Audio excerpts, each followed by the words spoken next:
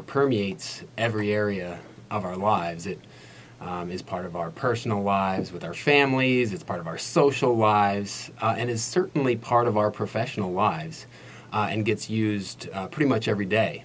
And so, because of that, um, there's sort of this uh, uh, kind of uh, intuitive understanding that, that humor in the workplace should be used in a, in a positive way, and that positive humor and humor that has positive tones or is inclusive uh, will have a, a, positive impact on, on the workplace, specifically subordinates' job satisfaction. Uh, and that negative humor really should be avoided at all costs by the leader. But uh, what you have found, which contradicts some of the prior research in this arena, is that whether positive humor has an effect, has a positive effect, or negative humor has a negative effect, is more dependent upon what kind of relationship the supervisor and the employee had to begin with than it is on the humor itself, right?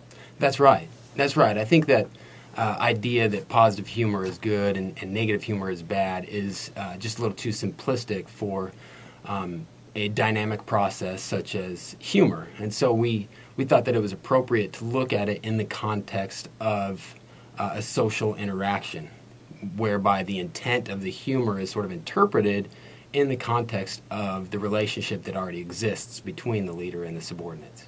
In short, if there is a bad relationship between the boss and the worker, or friction of some kind, uh, that employee is not going to find anything that boss says to be terribly funny. As a, and as a matter of fact, might even take offense at something he or she says uh, and think it is an intentional jibe or an intentional slur or an intentional uh, use of humor to put that employee down in some cases, right?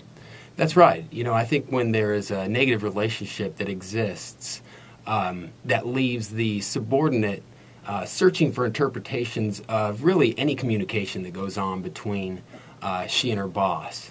Um, and so when that's interpreted in a, in a within a poor relationship, they might see that as uh, very cutting or maybe passive aggressive or um, maybe just simply a waste of their time and they wish that their boss would get down to uh, business.